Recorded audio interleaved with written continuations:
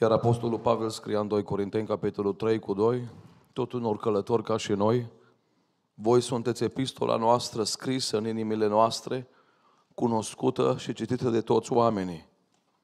Voi sunteți arătați ca fiind epistola lui Hristos, scrisă de noi ca slujitori ai Lui, nu cu cerneală, ci cu Duhul Dumnezeului celui viu. Nu pe niște table de piatră, ci pe niște table care sunt inimi de carne. Amin. Vă invit cu respect să ocupați locurile.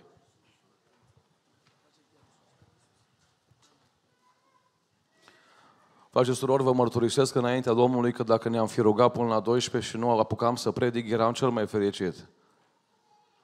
Nu-i frumos să spun că sunt sătul de predică, dar e frumos să spun că am nevoie de puterea Duhului Sfânt. Și avem nevoie de rugăciune cu toții. Mai zăbovim câteva minute înaintea Domnului și în această seară Dumnezeu mi-a pus în inimă acest mesaj pentru tineri, pentru dumneavoastră. Spunea Apostolul Pavel, am încercat de când m-am întâlnit cu Dumnezeu să scriu ceva frumos. Iar atunci când scriu, o zis Pavel, sunt foarte atent pentru că nu scriu pe piatră. Dacă lovești o piatră, nu o doare. Însă atunci când scriu, o zis Pavel, sunt foarte atent pentru că scriu pe inimi. Și o zis Pavel aici, pe niște inimi de, de carne. Pe niște inimi sensibile. Și sunt atent la scrisul pe care îl fac și sunt atent la atitudinea mea și la cuvintele mele, pentru că aș vrea scrisul acesta care va rămâne în inimile voastre să aducă vindecare, tămăduire, zidire, propășire și spun, Doamne, ajută-ne la asta. Iubiții mei, în seara aceasta vreau să învățăm cinci lecții de la acest scris, de la un creion. Pentru că o zis Pavel, noi suntem niște creioane. Că nu folosim cerneală, ci folosim Duhul Sfânt, asta e foarte important. Cinci lecții de la un creion. Five lessons we can learn from a pencil. And the first lesson, it's this. Everything you do leaves a trail behind. Prima lecție pe care o învăț de la un creion este faptul că tot ce fac lasă o, o urmă în spate. Lasă o urmă în spate. Atunci când Cristi Boariu sau Beni Cibu vor fi înmormântați, mâinile noastre, trupul nostru vor fi înmormântate.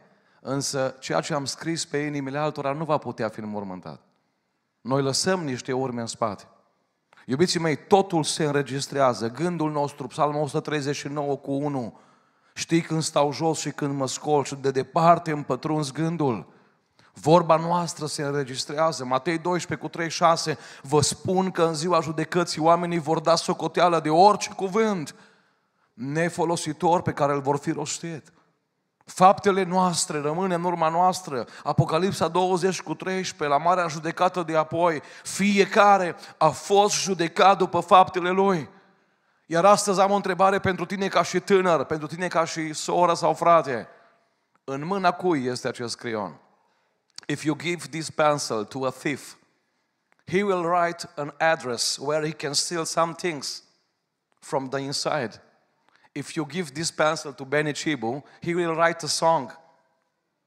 Is there any difference? Of course it is.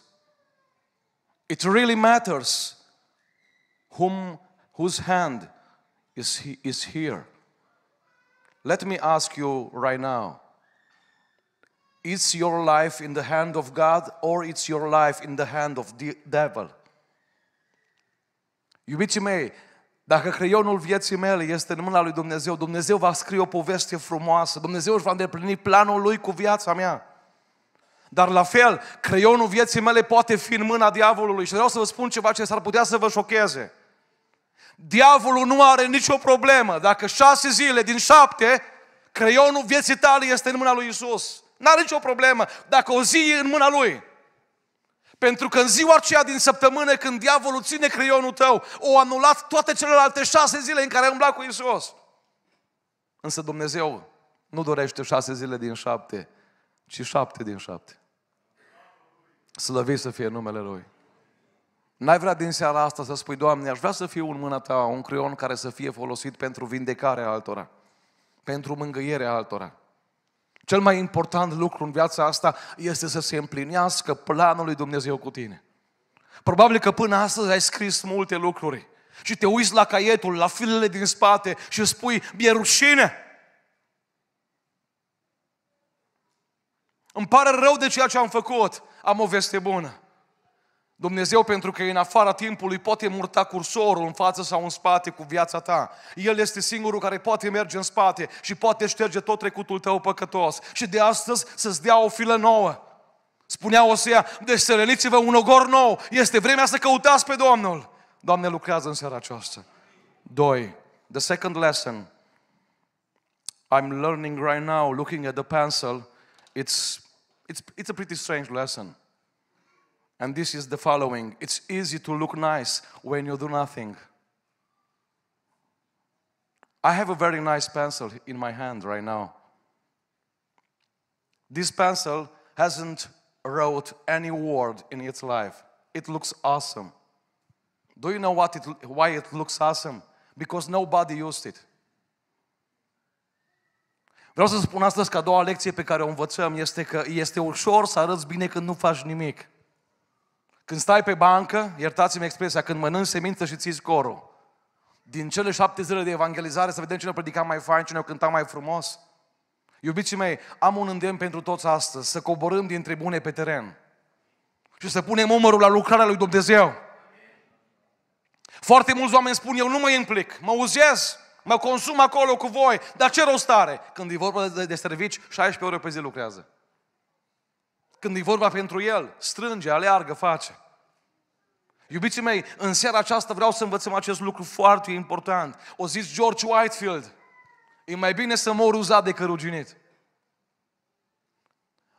Acest creion se poate mândri că rămâne brand new toată viața. Dar niciodată nu va avea satisfacția că a scris un singur cuvânt de mângâiere sau de zidire pe inima cuiva. Am văzut doamne ca să nu zic surori care s-au căsătorit și au zis, mie nu trebuie niciun copil, eu vreau să păstrez corpul frumos. I saw a lot of girls. After the marriage, they said, I like my body. I will not destroy my body giving birth to the, to the children. And they look awesome. But nobody in their house says, Mama. Iubiți mei, în această seară vreau să învățăm de la Apostolul Pavel. Spune Apostolul Pavel ceva foarte important, fapte 20 cu 24, dacă poți să afișez. Dar eu nu țin numai decât la viața mea, ca și cum mi-ar fi scumpă. Plămânii oricum ne distrugem într-un fel sau în altul, ori cu țigări, ori strigând aici la cântare sau la rugăciune. Ne distrugem într-un fel. Dar contează în care fel. O zis Pavel aici, vreau numai să-mi sfârșesc cu bucurie calea și slujba pe care am primit-o de la Domnul Isus, ca să vestesc Evanghelia Harului lui Dumnezeu. Am această întrebare în această seară pentru voi. Pentru ce te uzezi în fiecare zi? Iubiții mei, sacrificiul în via Domnului te va uza, arderea te va face să te consumi. Lumânarea care arde se consumă. Și Ravenhill spunea, etica creștinismului nu este succesul, ci sacrificiul. Tot mai mulți oameni vor să fie oameni de succes. Oare câți oameni mai vor să fie oameni de sacrificiu?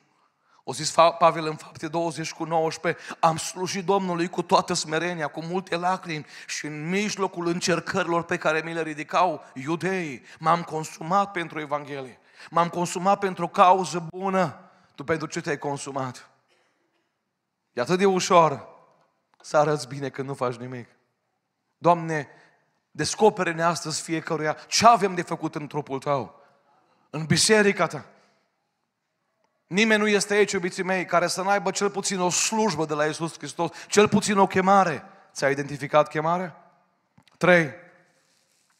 The third lesson I want to share with you today, tonight, is the following. The sharpening makes you better.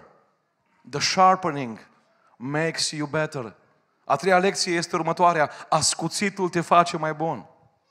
Întotdeauna după ce a fost o seară frumoasă, de multe ori întreb pe soție după ce Dumnezeu dă har la o predică, cum a fost acasă? Dezastru.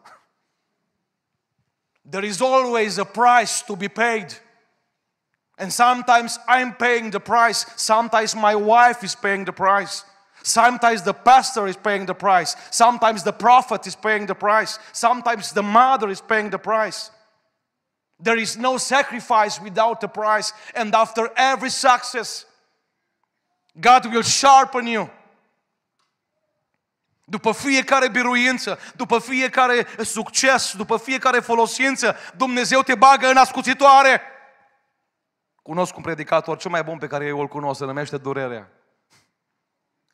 N-are like-uri, nici vizualizări pe YouTube. Dar o convertit oameni cum nu a făcut-o nimeni. The pain, it's the best preacher I know. God will use the pain to transform you. God will use your failures. God will use your, uh, your wrong steps to give you a lesson. God called, called Moses from a burning bush. David was anointed by God. Și așa cum a fost stuns David, a urmat câțiva ani de pustie. Pe fiecare om pe care Dumnezeu l-a folosit, l-a băgat mai întâi în cuptor, l-a băgat într-o nuia, l-a băgat într-o mustrare. Pentru că Biblia spune ceva în Ioan 15 cu 2. Pe orice mlădiță care aduce rod, El o curățește ca să aducă și mai mult rod. Dacă lipsește ceva generației noastre astăzi, știți ce este? Zdrobirea. Diavolul te înalță ca să te trântească la pământ. Dumnezeu te trântește la pământ ca să te înalțe. Acceptă trântirea, acceptă zdrobirea, acceptă cuptorul. Asta e ascuțitoarea în care Dumnezeu te bagă. Cei mai sfinți oameni pe care îi cunosc sunt oamenii pe care Dumnezeu i-au băgat în cele mai mari cuptoare, în cele mai grele ascuțitori.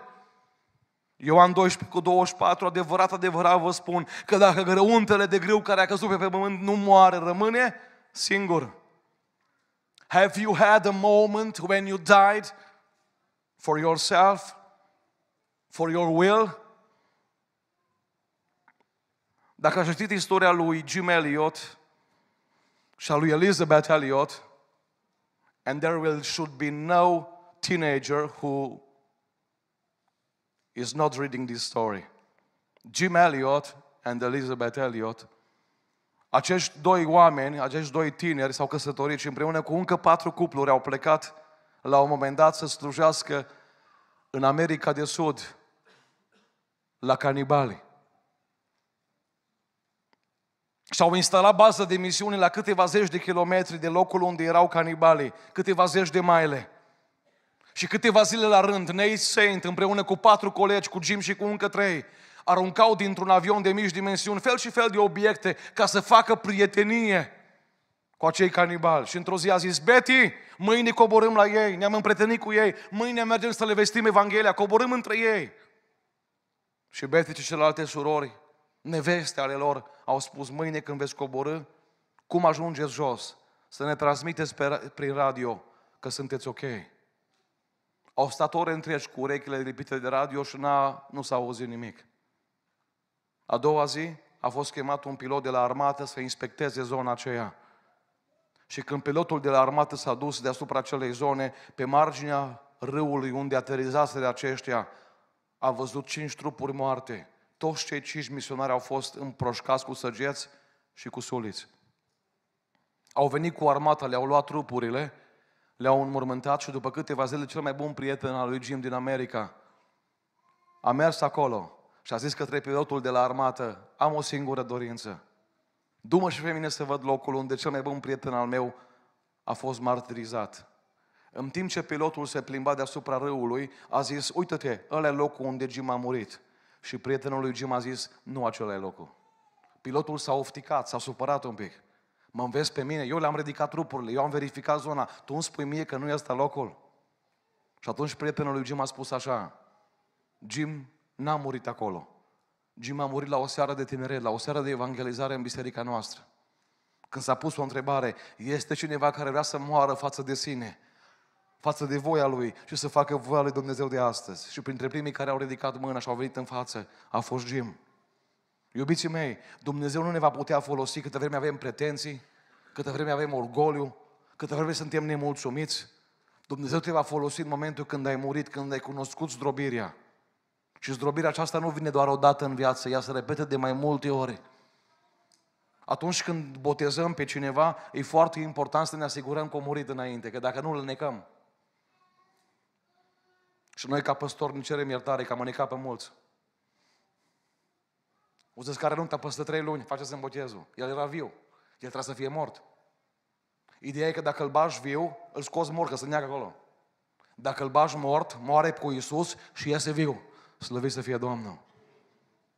Ați avut un moment când ați murit față de voi, față de voia voastră, față de pretențiile voastre, în care să spui, Doamne, bagă-mă în ascuțitoarea ta, fă ce vrei cu mine, dar nu mă lăsa să ajung în iad. Vreau să ajung cu tine în cer. The fourth lesson, looking at this pen, I learned something useful. And this is the fact that the inside is much more important than the outside. The inside of this pencil is much more important than the outside of this pencil. Interiorul acestui creion e mai important decât exteriorul. Putem spune amin? Dacă îl faci din aur, 24 de carate și nu are mină, it's useless. Nu poți să-l folosești. Iubiții mei, uh, foarte multe persoane pe care le-am întâlnit sunt foarte mult preocupate de exterior. Batax, unghii vopsite, gene false, ce vreți voi? Poate nu mai cam frați în America, să lăviți să fie Domnul că se bucură copiii mei că stau acasă. Iubiții mei, do you hear me? Cu cât un om este mai gol pe, exter- pe interior, cu atât trebuie să afișeze mai mult din, din exterior, că altceva nu are. Cu cât un om este mai plin de Duhul Sfânt, cu atât nu va pune preț prea mare pe exterior, pentru că valoarea lui este înăuntrul. Și Dumnezeu a pus în noi Duhul lui cel Sfânt. Și ceea ce îți dă valoare, nu e ceea ce pune Nike pe tine. Nu e ceea ce pune Balenciaga. Ceea ce îți dă valoare este ceea ce pune El în tine. Întotdeauna în viața unui creștin, interiorul este mai important decât exteriorul. Iubiții mei, uh, o zis Petru, podoba voastră să fie omul ascuns al inimii. What's inside? Auziți continuarea. Punem, te rog, 1 Petru 3 cu 4. În curăția nepieritoare a unui du blând și liniștit. M-a întrebat cineva, mă, eu nu înțeleg, uh, soția ta de ce nu poartă pe fiecare, pe fiecare deget câte un inel de aur și un lans la gât? Zic, hai să spun o întrebare, dacă ar fi plină de aur și când vine acasă urlă la mine, ce ea spune? Iubi, ce bine stă. Așa ea spune? Nu. Pentru că nu ceea ce pui pe tine îți dă valoare, ci ceea ce pui în tine. Ascultați. Rather, let it be the hidden person of the heart with, an, with the incorruptible beauty of a gentle and quiet spirit. Now, please pay attention. Which is very precious in the sight of God. This evening, I, will, I would like to choose what's important and what's precious in the sight of God. Amen? Asta vreau în seara aceasta. Să punem preț, iubiții mei, pe ceea ce pune Dumnezeu preț. Care sunt lucrurile pe care, pe care pui preț în fiecare zi? How much time you, as a teenager, spend every day for the things or on the things which are inside you? and how much time you spend in the bathroom looking at the mirror. It's your answer.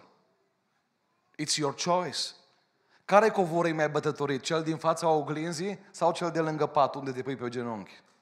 Am crezut ani de zile, când eram și eu tânăr, că diavolul se sperie de biceps și groși. Am înțeles mai târziu că diavolul se sperie de genunchi bătătoriți.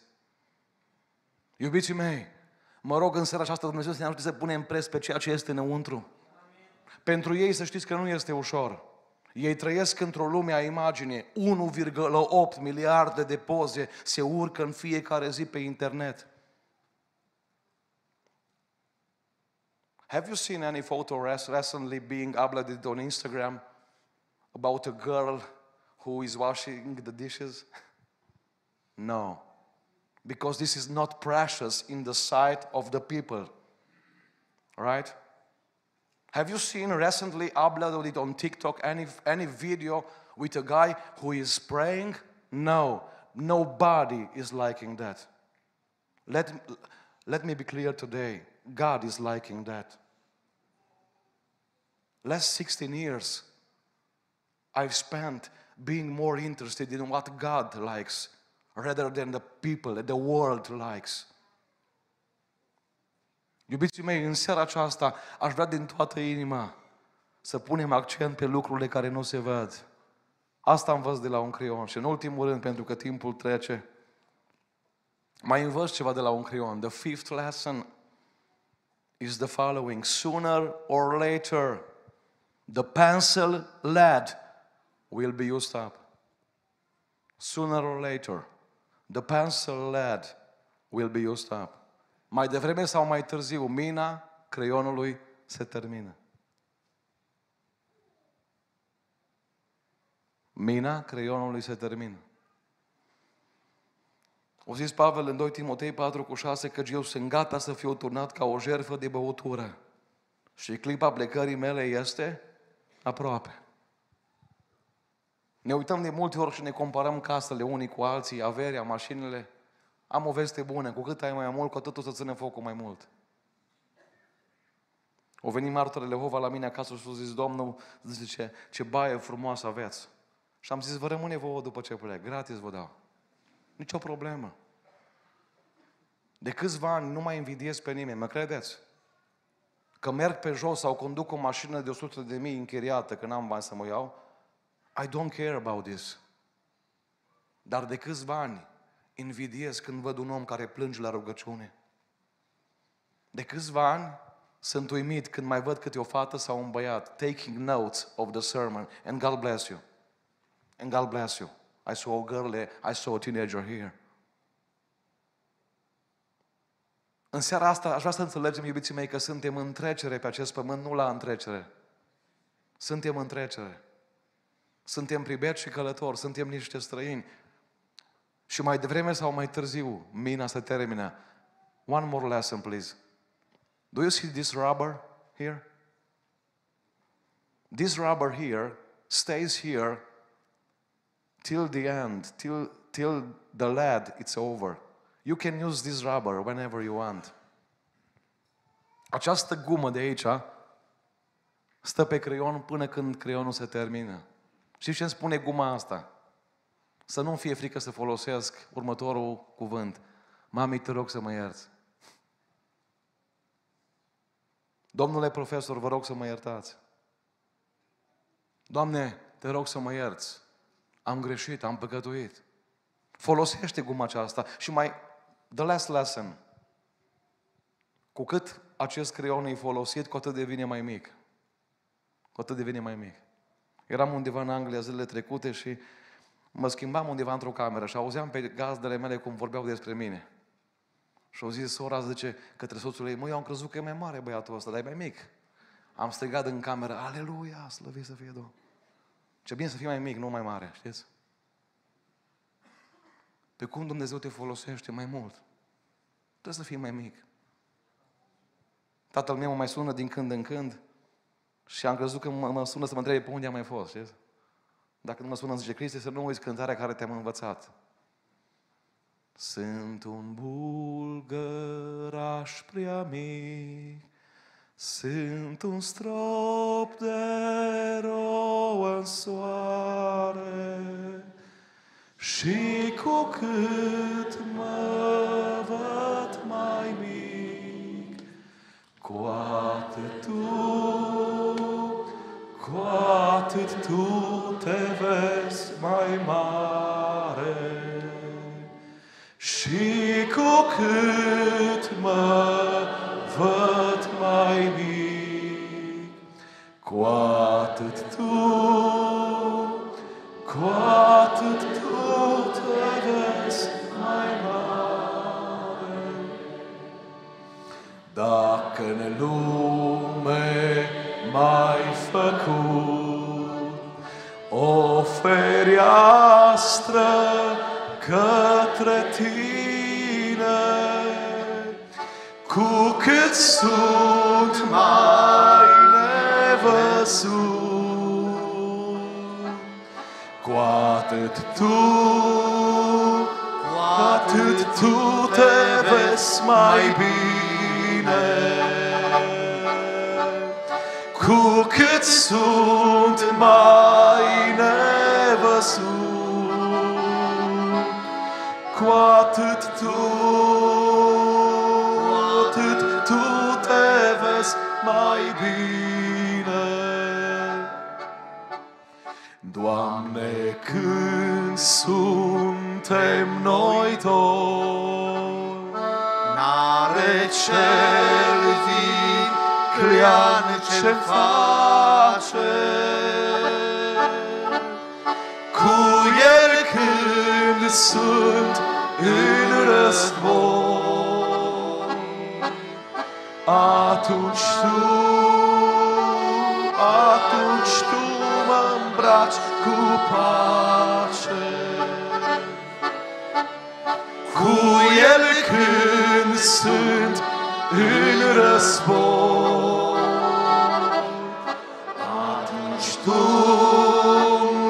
atunci tu mă îmbraci cu pace.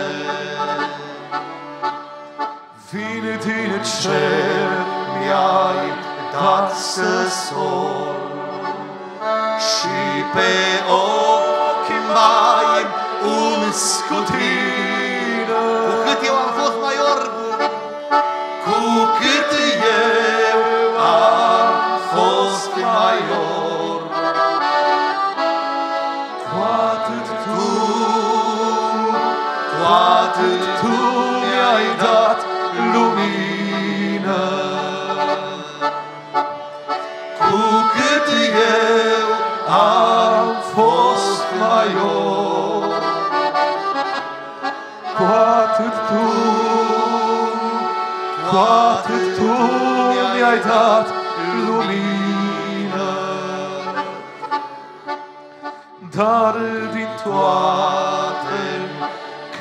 câte în cer le păstrezi tu pentru mine. nu mi-e dor de tot ce-mi dai. Cât mi-e dor, cât mi-e dor, Doamne, de Tine.